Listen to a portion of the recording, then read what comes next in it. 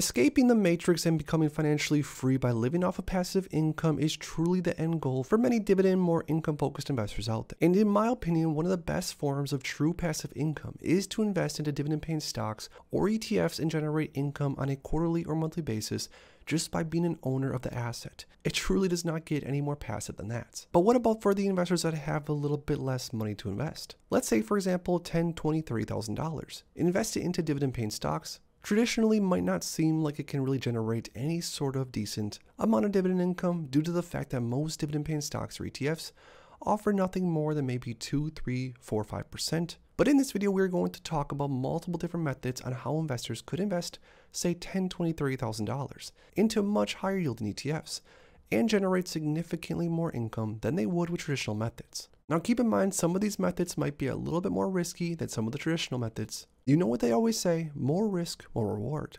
So make sure to stick around, drop a like down below, and subscribe before we get into this.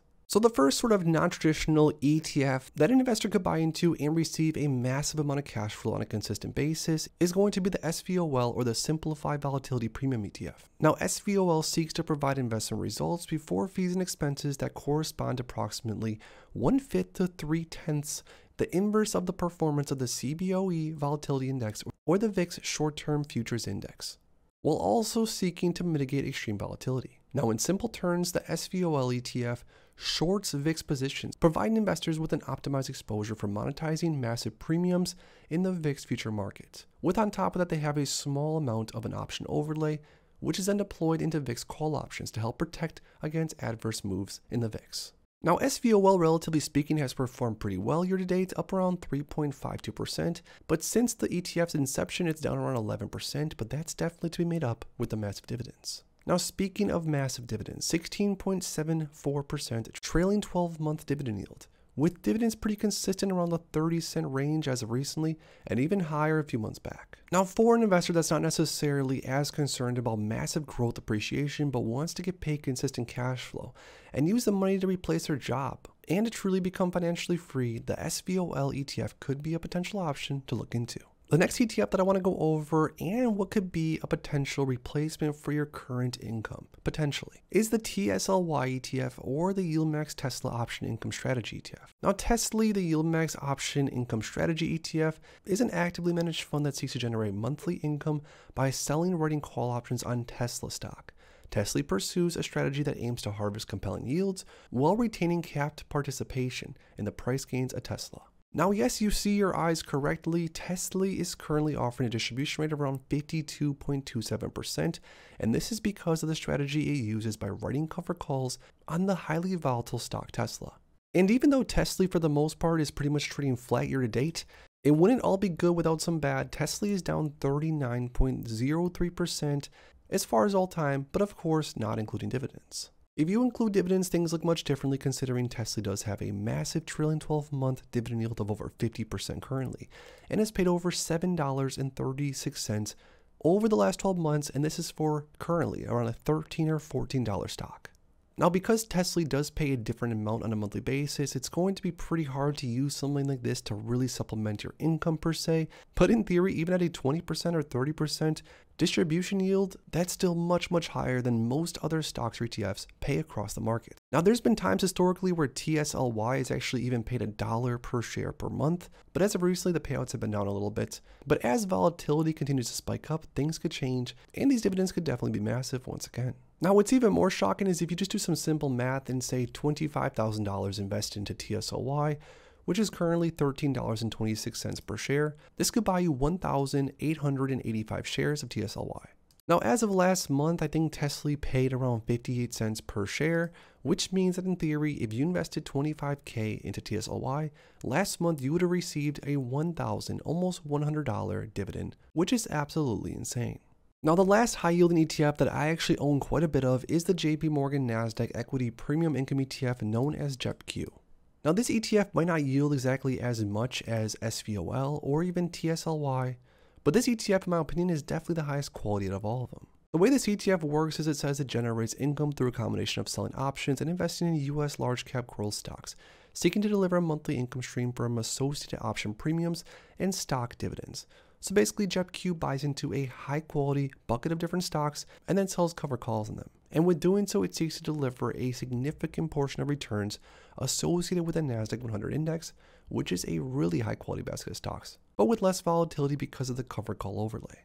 Now, JEPQ year to date, because of the underlying holdings, is up 14.24%, which is super impressive.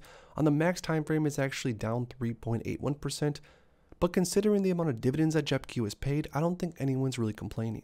Now, JEPQ has a trailing 12 month dividend yield of around 11 or 12% and it's paid around $5.53 over the last year. Now, JEPQ also does not pay a really consistent dividend on a monthly basis, although there has been times historically where it's paid pretty close to the same, but it's really going to be based off of things like volatility and how the market trades within that monthly time frame to see how much of a distribution that JEPQ is going to pay on that given month. But that being said, for the most part, since JEPQ's inception, it's paid anywhere from around 40 cents ish to maybe 60 cents as a high, to maybe almost 70 cents as at the high, but pretty consistently, if we'd average it out, probably around 50 cents per share per month. Now, that being said, because JEPQ does have a much lower dividend yield than the others, SVOL and TSLY, it's definitely going to take more money invested into this one in order to truly escape the matrix, quit your job, and live off the distributions. But that being said, some of the different ETFs that we went through today offer things like higher growth potential and maybe higher dividends and everything else in between. So when it comes to actually building out a portfolio of some of these really high yielding ETFs, you have to be aware that even though things like TSLY might pay a 50% plus dividend yield right now, it doesn't mean that there aren't still major risks associated with it.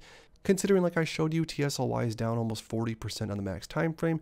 So if you bought shares of TSLY back just a few years ago, you are now sitting at almost a 40% loss. But again, if you add up those dividends that you're paid along the way, you're still sitting pretty nice. Now to get an even more accurate view on how these different names we went over in this video have performed just to be completely transparent over multiple different time frames. If we use the metric total return which is dividends plus share price return or loss included. Over the last 6 months all three of these have done pretty well.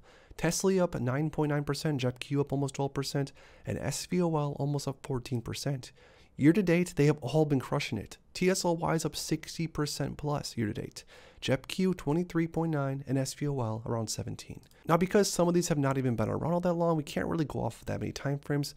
But as you can see so far, even with some of the share price decay, if you include dividends and look at things on a total return basis, these ETFs have performed pretty well so far. So there we have it. Those are three different high yielding ETFs that could, in theory, allow any investor with a small amount of money, relatively speaking, to escape the matrix, quit their job, and potentially even become financially free. Now, just a quick word of caution as far as these high yielding ETFs, these are all things that I personally use as a small portion of my overall portfolio, and I like to invest my money into more slow and steady growers like low cost index funds. But hey, there's something out there for everyone in the stock market, and if perhaps some of these higher yielding ETFs meet some of the requirements that you're looking for in an investment vehicle, then by all means have at it. But now I want to hear from you guys down below out of all three of the different ETFs that we talked about in this video, SVOL, TSLY, and JEPQ. If you could only hold on to one of them for whatever reason, which one would it be and why? If you enjoyed this video, make sure to please drop a like on it and subscribe for more future content like this. Thanks as always for stopping by, and if you are interested in investing, make sure to check out these recent videos I posted right here.